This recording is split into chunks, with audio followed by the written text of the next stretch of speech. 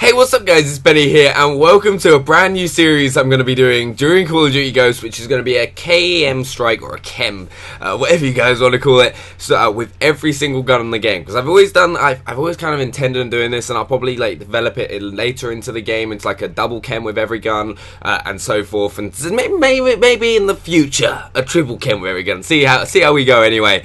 Um, but anyway, I'm using the SC 2010, which has been my favourite assault rifle so far, it's the gun that I've used the most. Um, just because I was really comfortable with it after Eurogamer, and it's watching gameplays back, it's really funny, I'm entering rooms like a SWAT man, I'm like going in, check the corners, check the corners, because in this game, you die so fast, and like, the map Stonehaven, which I'm playing on, um, I personally, it's not my favourite map, because I think it's too big for 6v6, there's a castle, and then there's grounds, and like, the grounds is enough for a map, not without the castle, and the players are dotted everywhere, so there's points in the game where it can be really slow paced, and you can be running around for a minute without finding anyone, but when you do get those really close engagements, engagements, which mainly, from what I've noticed, happen around the C flag because everyone kind of just piles in there and there's like some really nice like gunfight positions as like the houses and stuff like that and I find it really plays really well around the C flag area. But suddenly when you start going to the castle A flag it's like you're going on a trek it's you just feel as if you're traveling halfway across the world but I managed to get a KEM strike on it which was my second KEM um, uh, pre-release which I was really happy with because KEM strikes pre-release were a nightmare like they every single player was one of those players who'd gone out of their way to try and get a copy of the game early um, and uh, which kind of leads to him being uh, generally a, pers- a player that puts a lot more time into the game because when, when you want to get a game early, you're like, I want to play this game. I love this game so much, or whatever. Um, you you play. They tend to play it a lot. Um, personally, as you can see guys, I'm using the Assault Streaks. I do not think the Helo Pilot is very good at all because there's spawn protection in the game. Um, like in Black Ops 2 when you had the uh, warship or anything like that, you could get kills upon kills upon kills. Once you get them in the spawn protection, you can get maybe, you may get 12 kills or something like that with the Helo Pilot tops. That's the best I've managed to get so far. This this this particular Helo Pilot didn't do very well. I think in the entire game I ended up going 66 for 6. Um, like as I doubled ever since like yesterday when the game went public um, and everyone's like getting it. Double KEMs have already been started to get dropped uh, and stuff like this. Uh, and I, I, am really enjoying Call of Duty Ghosts, and like I can't wait to kind of like adapt and learn everything, um, and like start getting a better understanding of the maps because that's when you're going to start seeing the really fast play. Like this game is a lot slower pace, which is what I'm going to do in my in my series that I'll be uploading tomorrow. How do I get better at Call of Duty Ghosts? Um, it will uh, help you kind of like understand the steps you need because from previous Call of Duties to this, like literally, if you go on this game, right, and go with the mentality of a previous Call of Duty, like let's run out there and kill everyone, you're gonna get destroyed. Like it's, it's not even gonna be like it's just like you're gonna get like destroyed. Like that that is that is just the bottom line. Like I I went into that mentality first. I was like, let's go in here, run around.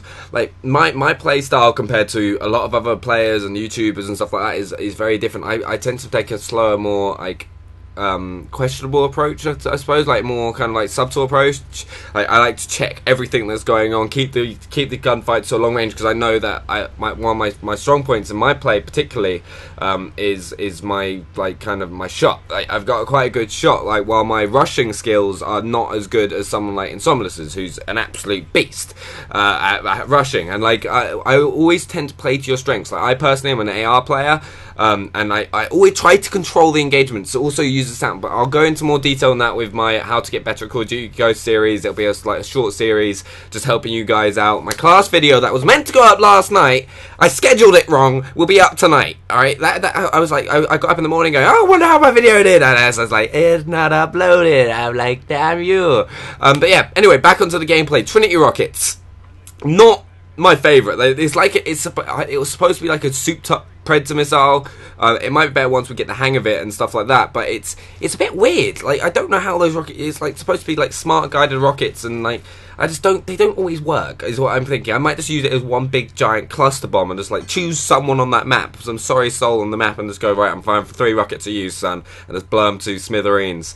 Uh, but anyway, guys, because I want to know because I'm actually coming up to the end of uh, this this particular gun streak, which is which is awesome. Like because I, I, I cut a little bit out because there was a bit of a point point in this game where I was like, okay, we are waiting around because I was like hang, hanging around in that back bit because I like all, I could hear on my headphones was people walking around and there's like three different points coming at me and I'm like like here right here. I'm like I can hear people and I was like no I am not moving out of my hole. I am staying in my hermit hole. Finally moved out and I got, went towards getting a streak. But anyway guys um, tonight there will be a my class video up. I'll probably upload that about 10 p.m 11 p.m GMT for you guys. This of course will be up at 6 p.m um, and uh, like that'll be my general schedule. I'll be always getting a video up at 6 p.m. for you guys, which is really cool. Because uh, like I, have never stuck to a schedule. Like my, my kind of upload schedule has been like I kind of feel like uploading, and especially with my internet connection, it is damn near impossible to keep to a schedule. But I'm, go I'm going to do it. I, am determined to be organized for once. Like that is one of my very weak points. I am the one of the most